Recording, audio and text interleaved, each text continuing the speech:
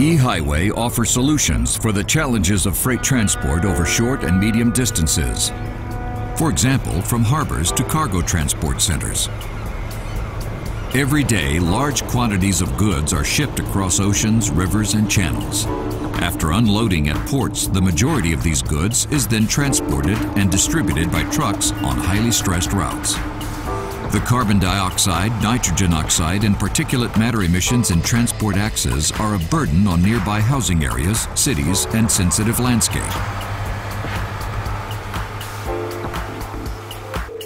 The electrification of trucks within the framework of the Siemens e-highway system can provide a substantial relief.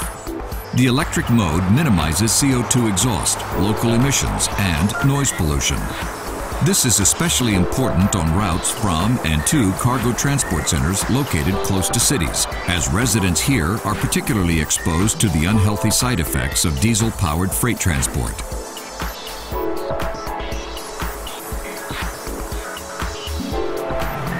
Thanks to the serial hybrid drive and the option to drive in diesel operation on non-electrified routes, the e-highway trucks are just as flexible and versatile as conventional trucks.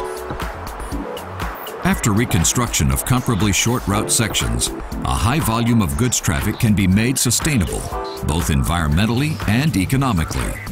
With fewer emissions, less cost-intensive fuel consumption, and longer service lives of engines at equal performance and operability.